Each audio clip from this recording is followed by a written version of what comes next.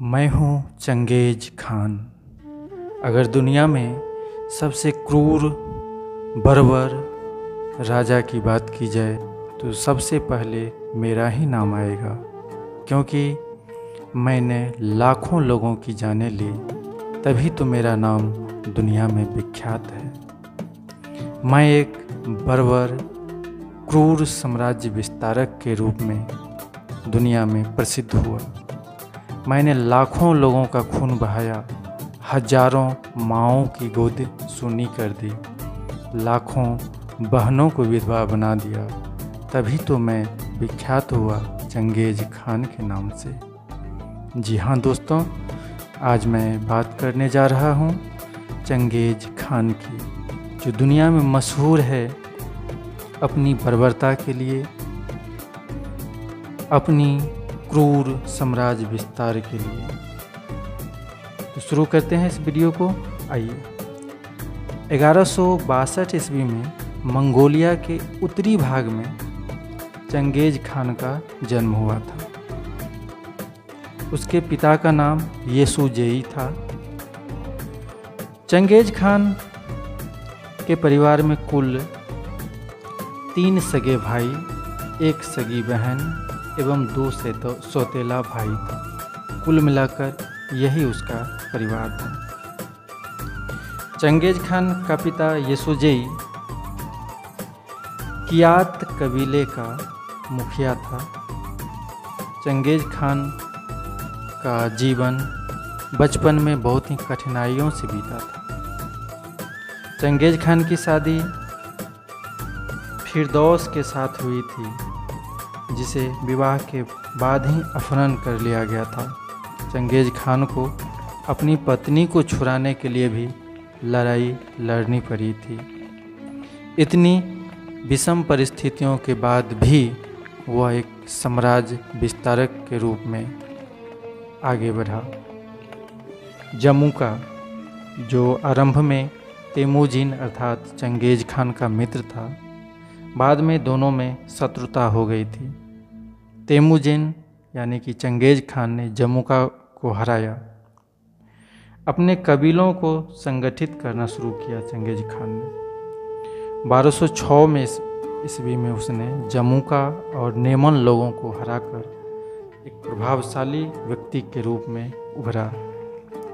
जंगेज Genghis Khan पैदाइश उसके दाहिने हाथ पर एक पैदाइशी खून का धब्बा था, जो कि उसके क्रूरता का निशानी था।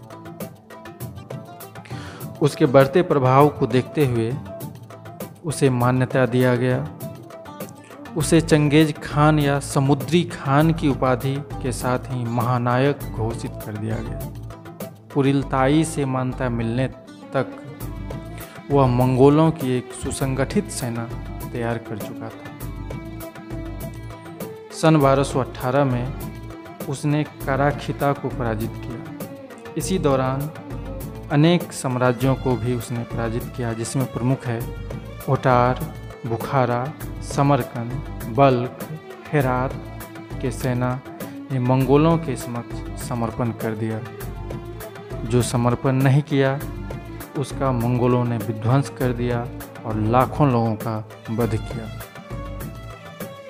इसी दरमियान गजनी और पेशावर को हराने के बाद वह भारत की ओर कूच किया। ख्वारिज्म वंश के शासक अलाउद्दीन महमूद को कैस्पियन सागर की ओर खदेड़ कर भगा दिया। वहीं अलाउद्दीन महमूद की मृत्यु भी हो गई। अलाउद्दीन महमूद का उत्तराधिकारी था जलालुद्दीन। चंगेज खान के डर से जलालुद्दीन गजनी की ओर भाग गया फिर बाद में उसने दिल्ली के सुल्तान इल्तुतमिश से सहायता की याचना की, किंतु इल्तुतमिश ने सहायता देने से मना कर दिया, क्योंकि वह चंगेज खान जैसे शक्तिशाली सम्राट से दुश्मनी मोल लेना नहीं चाहता था। इसी दरमियान चंगेज खान अपने देश मंगोलिया वापस लौटने की सोच रहा था। किंतु उस समय में भीषण गर्मी थी और प्राकृतिक आवासन की भी उतनी अच्छी व्यवस्था नहीं होने के कारण वह वापस लौटने के लिए मजबूर हो गया और उसके वापस लौटते ही चंगेज खान के आक्रमण से भारत उस समय में बच गया।